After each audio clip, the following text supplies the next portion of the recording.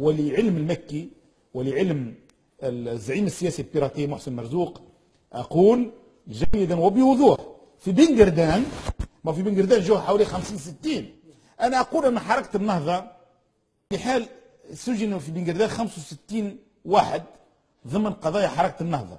ولا واحد فيهم ولا واحد من عائلته يطلعوا من الجماعة هذويا اللي طلعوا هم كلهم عمرهم فوق 23 عام فترة ويتاج بن علي وعاد الغندي اللي راهو تاجر ومهرب وسيكردي اللي اختل ولد عمة الماكي هلال هو ولد رئيس شعبة وهو أيضا خو مهرب كبير. للمفارقة. بالله كيفاش عليه اسمع لي؟ صدمتني والله. يعني اللي قتل ولد عمة مكي هلال الله, يرحمه اللي هو آه، رئيس فرقة مكافحة الإرهاب آه، هناك. شنو هو؟ هو ولد رئيس شعبة. نعم. هذا واضح.